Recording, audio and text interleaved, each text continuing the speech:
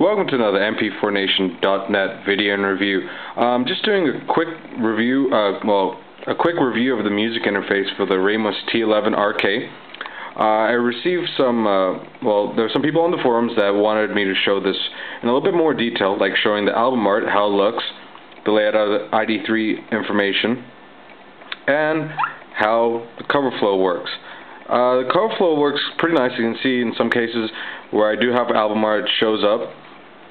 Uh, I don't. Not all my music has album art, as you can see, and some of them do have album art, but for some reason it isn't showing up on this. I'm putting that to just, you know, the firmware being relatively new and still having bugs in it. And the scrolling is dynamic also, so it's as fast as how well it scrolls as fast as you move your finger or how much effort you put into it. So not too much, and it doesn't scroll a lot really fast and it zooms by. You know, it's quite nice. Uh, again, this I'm still using the very first firmware that was released for this player. Uh, I have not updated it. So, depending on when you see this, please keep that in mind, as it may have greatly changed since the time of this video review, well, since when I made this. And you got your different options. You got your MSEQ, you can pick your different type. Use EQ, you can change stuff there. I've also found that using a stylus can be pretty useful for these very small things. Then you got your repeat mode.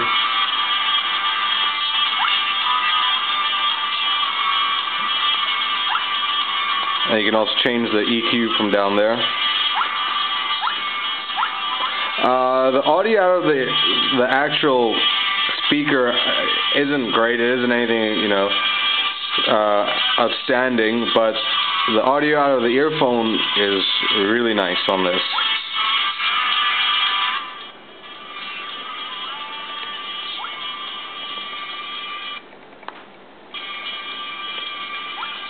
And again, the scrolling for the music, uh, for the music list is again dynamic.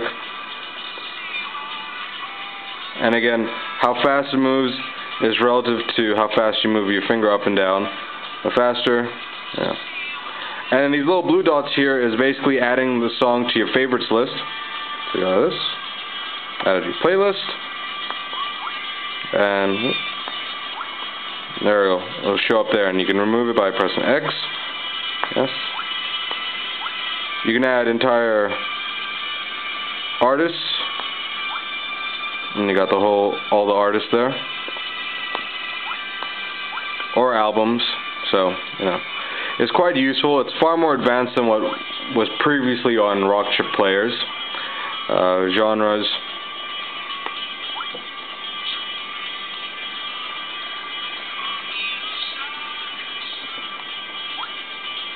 And you can also make um, hold on plays basically making bookmarks. Uh, did I not play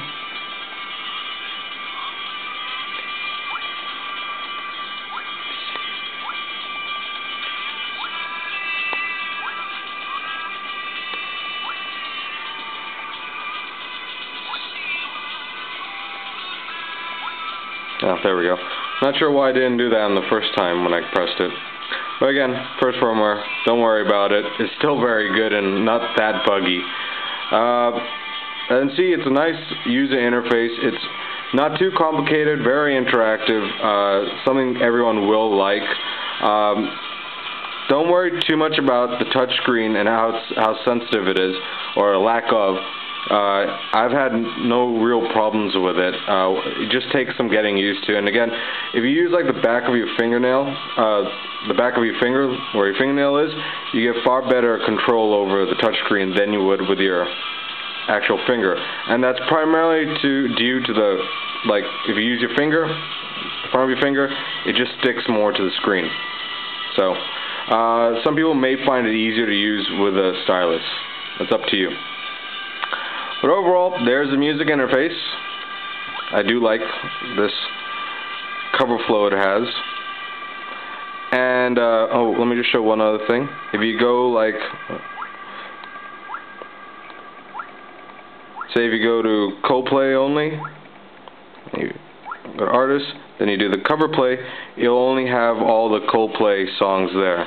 It won't start showing, uh, it won't start showing other stuff. So that's nice too.